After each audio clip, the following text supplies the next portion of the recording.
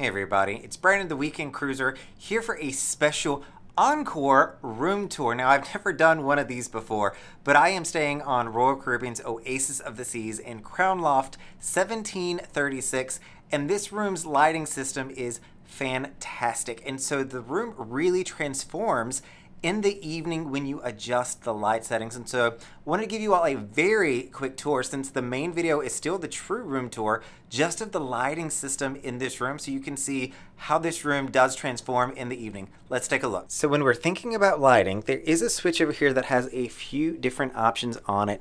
And that's gonna give you the all on on the top, the day, you're gonna have evening, and then you're gonna have late directly below that.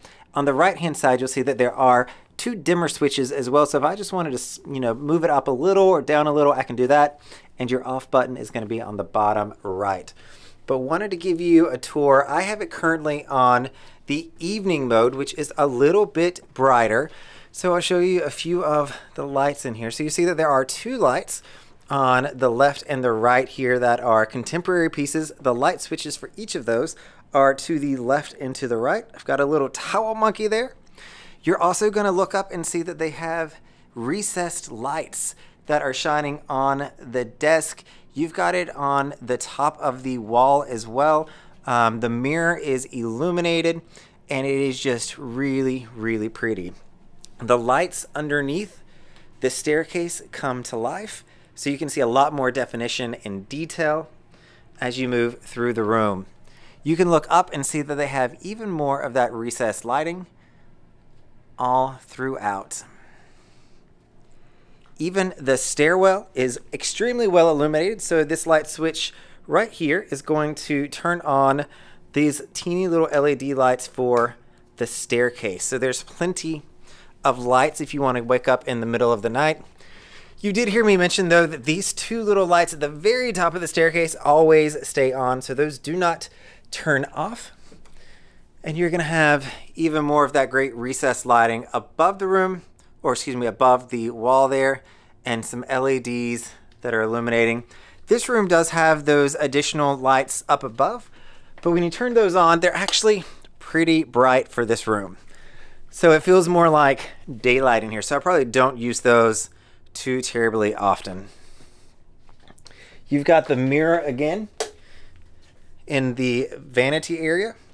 So if you're getting ready, hey everybody, you've got really good lighting here where you can see you're getting ready. One of the neat things, and I'll see if there's not too much light in here, but in the bathroom, the light up above is actually a night light. So I don't know if you can tell it right now, but that light is not actually on. It is a night light. If I was to turn it on, it's gonna get really bright and then the camera's going to come off and there you go you can see that it's a dimmed nightlight which I have really enjoyed in the bathroom. So I'm going to come over to the light switch and I'm going to show you quickly the evening mode. So I'm going to put that down turn this light off and this is a really nice relaxing evening. So you can see the room is turned down for me to be able to fall asleep tonight. To come back to my room I'll walk back down the stairs just to show you the downstairs area now with the evening lighting. And it is just, this is my absolute favorite. So all the darker or brighter lights, I should say, have now switched off behind the mirror. You come in here after your dinner and it's just ready for you to just crawl into bed, fall asleep, maybe watch a quick show on the TV. Um, but it is a great lighting setup for this room. So I hope you enjoyed this encore room tour of Royal Caribbean's Oasis of the Seas Crown Loft 1736 and the wonderful lighting setup that this room has. Hope to see you all on a weekend cruise soon.